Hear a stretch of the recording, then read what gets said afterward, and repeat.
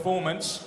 This week, you didn't say much by way of a prediction, but is that what you expected to do tonight? Well, you see, um, I know I'm fighting with uh, Mundine, and uh, I don't want to reveal my secret to him. If Mundine is gonna uh, uh, understand me, I have to tell him something. He's a brother to me now. You know, in boxing, if you fight in super middleweight and you coming down middleweight and you coming to light middleweight, it's gonna be a problem to you. I know it's gonna be a bigger guy, but my strong because I'm a natural one for the 154. So if I hit him, it's gonna go down. That's what that's what happened.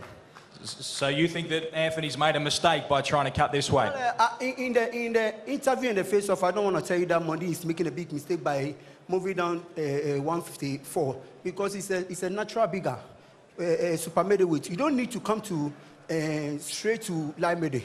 You know, besides that, he's growing old. so you need to go up than coming down. That's why uh, uh, the punches are getting him. But he's a, he's, he's a strong guy. He's a very good fighter. I respect him so much.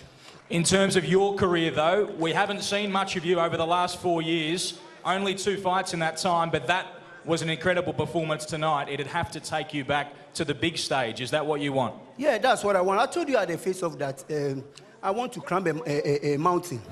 And uh, it's going to be a tough in America because it was very disappointed, my, my fight with uh, Manny Pacquiao. So everybody write me down. So Mondi giving me the chance to fight with him is a, is a blessing to me because I'm going to uh, uh, be on his shoulders to go up. I really thank him for the opportunity and I've used my opportunity. He said one thing at the face of that I get my chance with Manny Pacquiao, I fail. That's not a fail. That's a boxing. Sometimes you get to the ring, you get a cramp, you, you get a no day. End of the day, you're going to lose. Mondi failed now. So who do you want next? What name? Well, uh, uh, um, I think uh, this is a good win. I'm not saying that my performance is better because I fought uh, four years. This is the third fight. So I think I need a couple of fights to sharpen my everything. So I'm not going to mention him. But I have one thing in mind. My defensive is always going to give me with a problem.